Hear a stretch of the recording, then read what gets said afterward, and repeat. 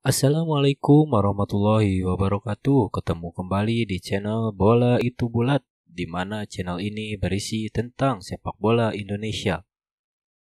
Di sini saya akan membahas tentang pelatih timnas Indonesia U23 Sintayong memanggil 33 pemain untuk mengikuti kualifikasi Piala AFC U23 2020. Berikut 33 pemain Indonesia untuk persiapan kualifikasi AFC U23 2022 di Tajikistan. Yang pertama di posisi kiper ada Muhammad Riyandi asal Barito Putra. Dan yang kedua ada Muhammad Akil Safik dari versi Bandung. Dan yang ketiga ada Hernando Arisutaryadi dari Persebaya. Lanjut ke posisi belakang. Yang pertama ada Rizky Ridho Ramadhani asal Persebaya Surabaya. Dan yang kedua, ada Rahmat Irianto, asal klub Persebaya Surabaya. Dan yang ketiga, ada Alfeandra Dewangga, asal PSIS Semarang. Dan yang keempat, ada Muhammad Firly, asal Barito Putra. Dan yang kelima, ada Komang Triwiguna, asal dari Bali United.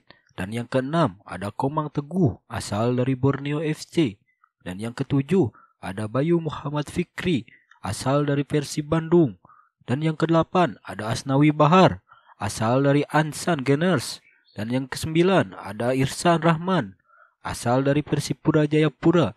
Dan yang kesepuluh ada Pratama Arhan Alif, asal dari PSIS Semarang.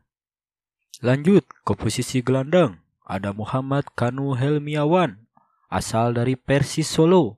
Dan yang kedua ada Eka Febri Yogi, asal PSIS Semarang. Dan yang ketiga ada Sarian Ambimanyu asal dari JDT Malaysia. Dan yang keempat ada Marcelino Ferdinand asal dari Persebaya Surabaya. Dan ada yang kelima ada Gunansar Papua Mandowen asal dari Persipura. Dan yang keenam ada Beckham Putra Nugraha asal dari Persib Bandung. Dan yang ketujuh ada Egi Maulana Fikri asal dari FK Senica. Dan yang kedelapan ada Febi Eka Putra asal dari Arema FC. Dan yang kesembilan ada Nathaniel Sironggo Ringo asal dari Kelantan, Malaysia. Dan yang kesepuluh ada Subhan Fajri asal Persiraja Banda Aceh. Dan yang kesebelas ada Sadi Ramdhani asal dari Sabah FC. Dan yang kedua belas ada Witan Sulaiman asal Lecia Gendesak. Dan yang ketiga belas ada Genta Alperendo asal dari Semen Padang. Lanjut ke posisi striker ada Brai Fatari asal dari Persija Jakarta. Dan yang kedua ada Rabbani Tasnim Siddiq asal dari Borneo FC dan yang ketiga ada Bagus Kafi asal dari FC Utrecht. Dan yang keempat ada Ronaldo Joybera Junior asal dari Madura United.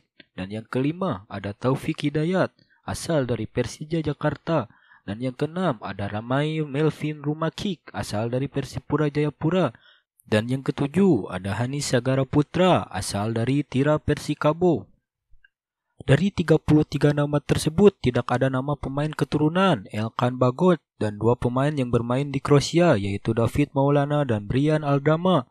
Untuk Egi Maulana Fikri yang memang hanya diizinkan membela timnas senior oleh klub yang kemungkinan batal membela timnas U23 dan Sadi Ramdhani yang sedang mengalami cedera parah pada perutnya kemungkinan tidak bisa bergabung dan akan segera diumumkan penggantinya.